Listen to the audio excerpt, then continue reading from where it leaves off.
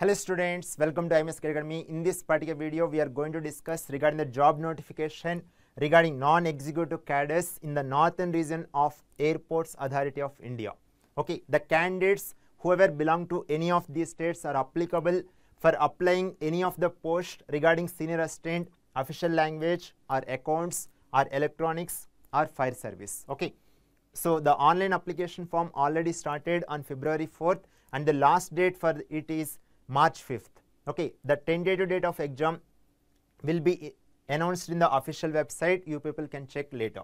Okay, and coming to the number of posts available for electronics category, in the total number of posts available is 47. With respect to category wise, you can see the available posts.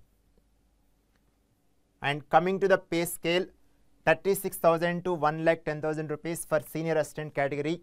Okay, and you are getting all these allowances. Okay, right. Coming to the age limit, the maximum age limit is 30 years by this particular date, and for according to the category basis, the relaxation also is there. You people can go through for uh, the respective details later.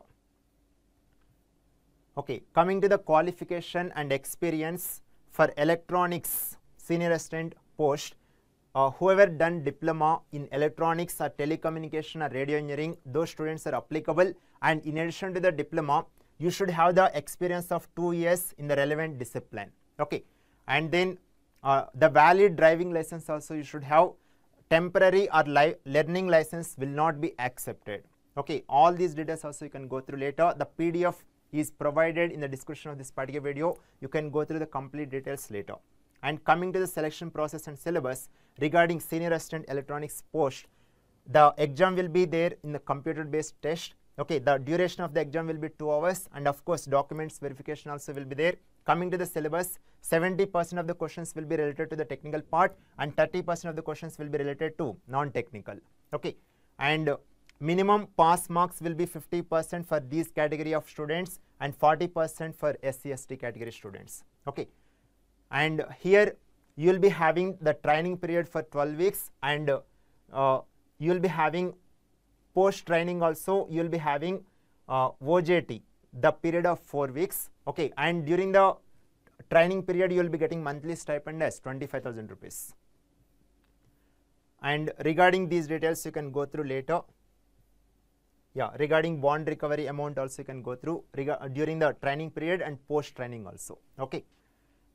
And coming to the application fees 1000 rupees okay for this category of students. And whereas no application fees for this category. Okay. Yeah. Coming to the admit card. Okay you can download from the official website later. Okay. So there won't be any uh, they won't send any postal. Okay. They won't send any admit card in the postal. You have to download from the official website. Okay. And coming to the centers for computer based test you can see all these are the available centers. So you can select based on your convenience. Okay. Right. Next the objective type here the computer based test there is no negative marking. This is the most important. There is no negative marking for wrong answer. Wrongly if you attempt okay any question there won't be any negative marking. And you can go through the complete details okay.